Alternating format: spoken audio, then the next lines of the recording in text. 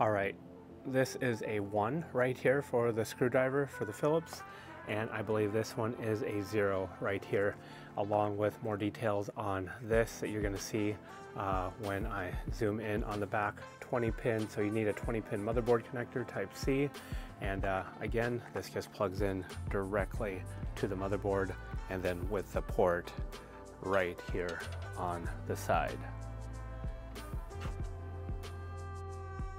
Hello, hello Mom and Dad Meet World. So today we're going to be finishing up right now working on this particular computer. This is the uh, computer with the Core i5 that we had picked up off of Amazon and Prime Day and uh, we're just going to be upgrading um, the SSD or should I say we're going to be adding another NVMe SSD and then we're also going to be adding the port that they said was on here which is the USB-C port. We're going to be adding that on here but we're not going to be uh, buying another card. We're just going to be using the header from the motherboard and I'll show you what parts we have.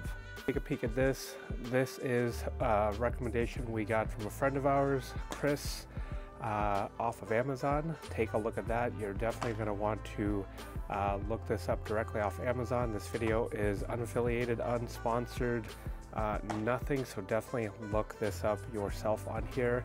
And then this was a drive we actually had. This was uh, our older uh, NVMe drive right here that has already been formatted. It was used on a Mac, but it's been formatted uh, to DOS format. So we're going to use that screwdriver, and then this actual these bunch of screws right here will go to hold the drive in place because they did not come with it. Our friend Chris had actually given this to us, but if you do look it up on Amazon, it is ASRock, the, the name of the motherboard. So let's get down to it. So doing this one-handed, holding uh, the camera slash phone with one hand, and then just taking off the sub screws here. We're gonna undo this right here. Just set this aside, make sure it is nice and safe. And so let's take a peek here. So we're gonna go down here. Pardon the noise in the background. Uh, I was choosing to do this outside, but there is a softball being thrown. Um, so I gotta work around that. And so if you take a peek at this, this is indeed a ASRock motherboard right here. We're gonna go right here right there, that is the header for this USB-C port right here. So this is gonna go right down here. We're gonna undo that. And then we're gonna take this right here and plug it in over here. So this can only go in one way. We're gonna zoom in on that, or at least try to zoom in on that. So if you can see it right here, it's got like a L down at the bottom and this only plugs in one way. And if you take a peek at that it's got like a L down there. So we're gonna match them up. Alright so take take a peek at this. This can only go in one way. And you're actually gonna hear it snap into place. So push right down here. Doing this one-handed I'm gonna brace the phone right here all along the side of the case. Try to see if you can hear this I don't know if you could hear that, but it was a nice resounding thud right into place. Pull it back out again right here. There we go. That is definitively right here into place. Let's go the other side here. Follow this cord. We're gonna undo this part right here and slide this right there.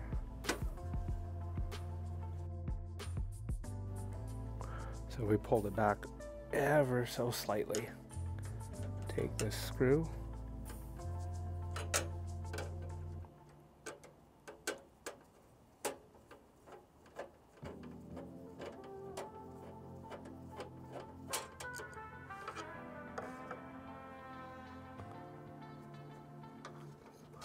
Pull that out of there. Okay, so I had to use uh, my thumb and uh, finger right here on both sides.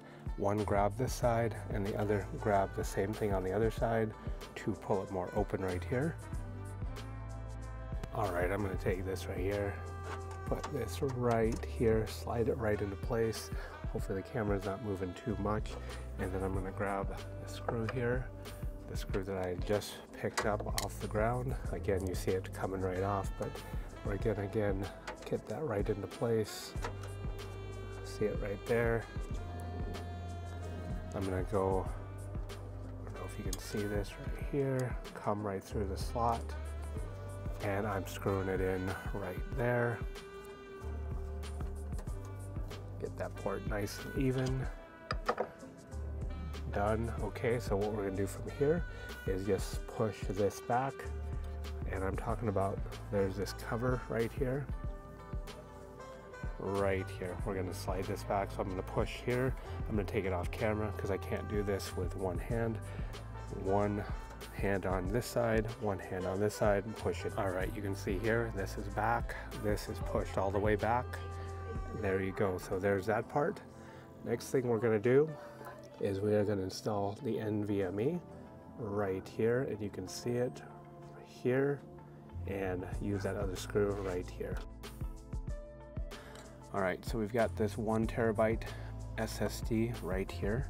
So what we're first gonna do is put it right into place right there. We're gonna come at it about 30 degrees on the side. Do you see how that slid right in? Push it back into place. And we're actually gonna see, uh, grab one of these screws that we had gotten right here. So out of the baggie of screws, we got this flat one right here.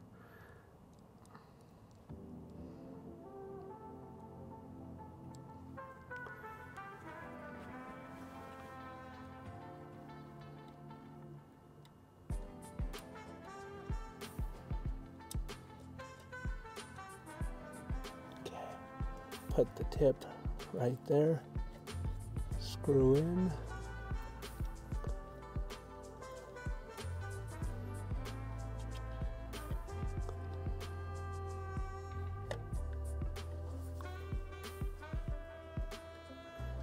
All right, there you see right there, we've got the drive mounted nice and even within the housing and you can see there, um, there's a nice silvery piece right around the screw, nice and even on that.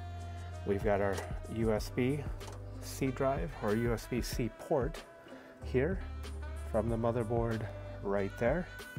And we're just gonna wrap it up. All right, hopefully you enjoyed this video. We use one standard screwdriver right here to get to the port cover. And we use a smaller one right here to mount the NVMe SSD. Um, and then everything else was a thumb screw. This was a US, the Type-C USB 3.2 port we use right here. Again, right to the motherboard, so we did not have to buy another card using up a slot. So that is a good thing. You see that right here. Hopefully you enjoyed this video. Hopefully it helped you out if you had actually picked up this particular PC during Prime Day. And uh, yeah, we've got our USB-C port and we've extended our storage from one terabyte to two. Uh, the other NVMe is in towards the top here. We just added a second one right here. So if you like this video, you know what to do. Please hit the like and subscribe button. It really helps out our channel.